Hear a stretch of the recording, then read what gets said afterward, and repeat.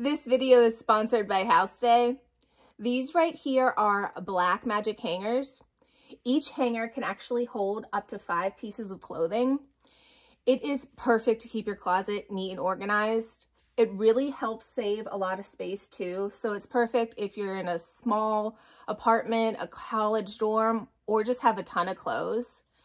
And this is how it saves a lot of space. Ready for the magic?